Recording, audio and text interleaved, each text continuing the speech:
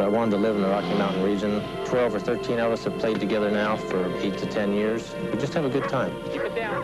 What Tom does is he doesn't care if we make mistakes. He doesn't get down on anybody. A lot of these players depend on Tom Dater for their life insurance. It's all teamwork. It's, you know, no individual players.